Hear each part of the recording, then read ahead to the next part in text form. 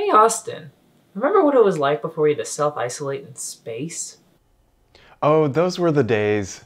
If only I had something to view what the world around us was like in the past.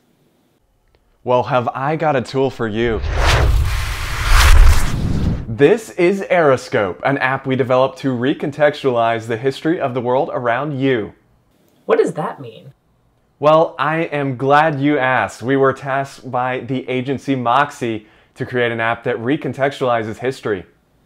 What do you mean recontextualize? That sounds wordy.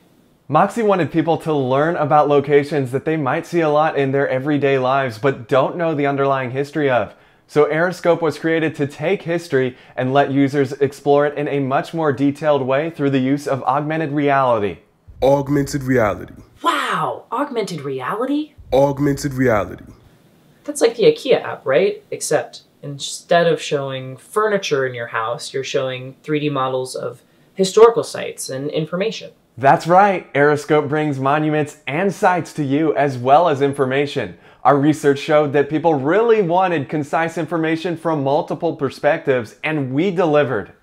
Wow, that's so cool. What kind of things are covered? Currently, we have support for the UGA Arch and Baldwin Hall. Did you know that the UGA Arch was originally created as a gate to stop cows from grazing on North Campus? Cows? that's so wacky. Can I see the Augmented reality. in action? Certainly. When booting up EraScope, you're greeted with a map where you can select a historical site that you want to learn more about. You can also do this in the Information tab. Currently, EraScope supports Baldwin Hall and the Arch.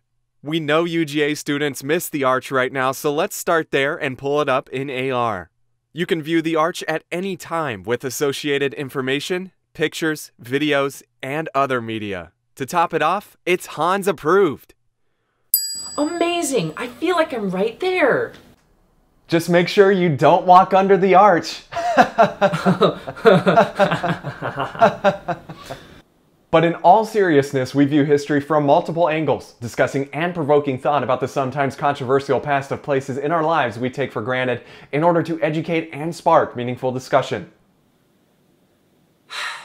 Wow, I'm so happy to be able to learn more about the history of my surroundings, even if I can't actually visit them in person because I'm stuck in space. Speaking of, we should probably head back to space now. Well, at least I'm now equipped with the tools to keep me updated on the history back on Earth.